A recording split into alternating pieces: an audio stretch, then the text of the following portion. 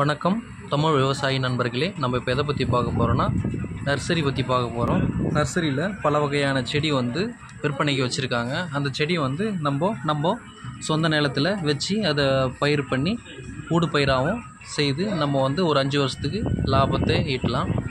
இது நம்ம விவசாயம் பண்ணும்போது ஒரு கைனி பயிர் அப்பப்போ செலவு பண்ணி நம்ம ஒரு லாபத்தை மூணு மாதத்துக்கு கழிச்சு நாலு மாதத்தில் நம்ம லாபத்தை ஈட்டும் போது இந்த மாதிரி ஒரு செடியை வந்து தேக்கு செடி இந்த மாதிரி பணப்பயிரை வந்து நம்ம வந்து வச்சு நம்ம பாதுகாத்து ஒரு பதினஞ்சு இருபது வருஷத்துக்கு வந்து நம்ம விவசாயம் பண்ணலாம். அந்த லெவ விவசாயம் பண்ணும்போது நம்ம சிறு சிறு ஒரு ஒரு மாதத்துக்கு தேவையான நம்ம விவசாயம் பண்ணி லாபத்தை ஈட்டுறதை விட ஒரு லாங் டேர்ம் இன்வெஸ்ட்மெண்ட் மாதிரி இந்த மாதிரி செடியை வச்சு விவசாயம் பண்ணலாம். விவசாயம் பண்ணுற அந்த லாபத்தில் வந்து கவர்மெண்ட் வந்து பர்மிஷன் கொடுக்குது. அந்த பர்மிஷனில் வந்து நம்ம இந்த செடியை வந்து வெட்டி நம்ம விற்கிறதுக்கு தேவையான லாபத்தை நம்ம ஈட்டலாம். இப்போ இருக்கிற காலகட்டத்தில் வந்து விவசாயம் பண்ணுறது கூலி ஆள் வேலை கிடைக்கிற லா பட்சத்தில் இந்த மாதிரி செடியை வச்சு அதை வந்து களை எடுத்து அதை சுத்தமாக பராமரிப்பு செலவெல்லாம் நம்ம பார்த்து நல்ல ஒரு இதுவாக வந்து நம்ம யூஸ் பண்ணி பயனடையலாம். இங்கே வந்து பலவிதமான செடி வந்து நர்சரியில் வந்து விற்கிறாங்க இந்த செடி வந்து நம்ம எல்லா செடியை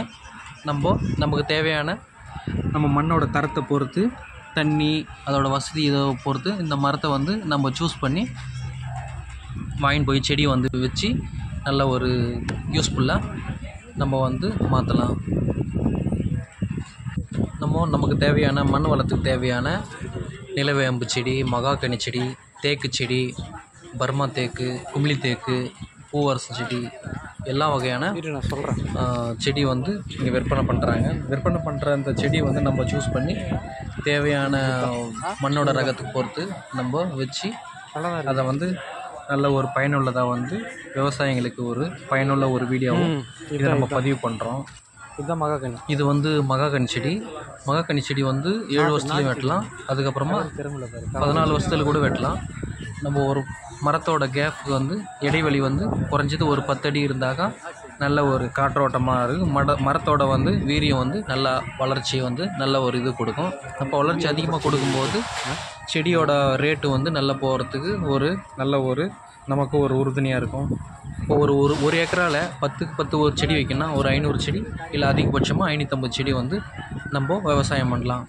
விவசாயம் பண்ணுறதுக்கு தேவையான உரத்தை வந்து நம்ம கவர்மெண்ட்டு தேவையான மானியத்தையும் கொடுக்குது. அந்த மானியத்தை வாங்கி நம்ம அந்த செடிக்கு தேவையான பயனை வந்து நம்ம பெறலாம்.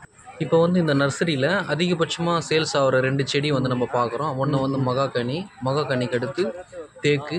தேக்கும் நல்ல ஒரு